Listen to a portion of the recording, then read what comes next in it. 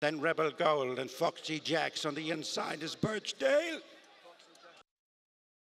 Into the straight, one fence left to jump in the Bulmer's Secret Orchard Leopardstown Handicap Chase. And it's Black Bow and Paul Townend on the near side of Winter Escape. Simon Torrens on the far side. Coming there is Birchdale and Mark McDonagh, the blue cap. Foxy Jacks is there in between horses for Jonathan Moore. Gallant John Joe stays on ahead of Rebel Gold. Racing inside the final 200 yards. And it's the JP McManus pair.